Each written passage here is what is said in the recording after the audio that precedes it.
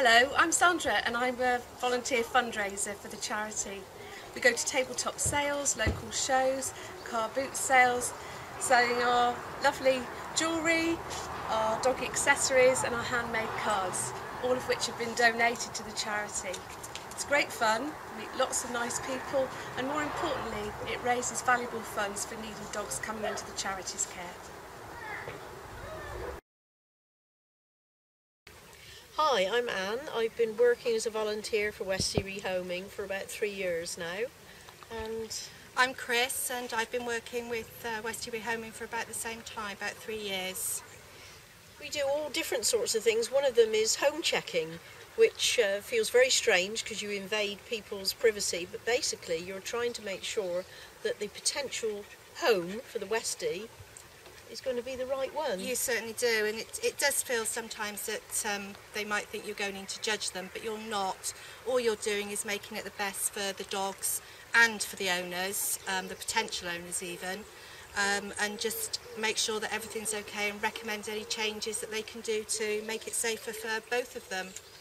And then the other side of the coin is collecting dogs, rescuing them uh, from difficult circumstances sometimes, and this can be very emotional. It can be all sorts of different circumstances. Um, you do get involved. Um, people don't want to give their dogs up all the time. It's, it can be so emotional for them um, and for the dogs. Um, so you've just got to make it as easy for them as possible. And then the final piece is taking that rescue dog to a new home, which you've home checked, and you hope there's going to be the right home for that dog. He will be very, he or she will be very stressed, and you have to impress on the new owner to give them some space, give them some time to settle in.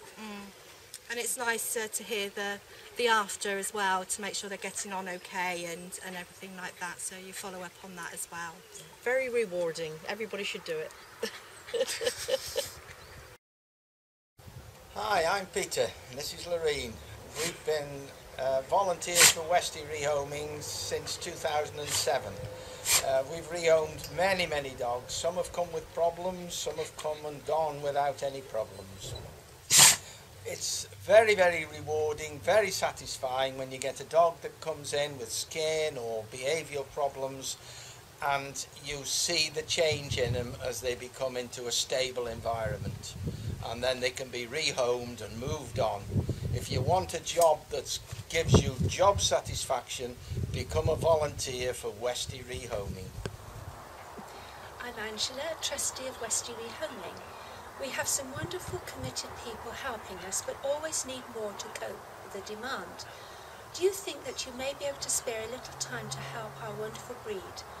We'd love to hear from you. Call us on 0844 879 4260.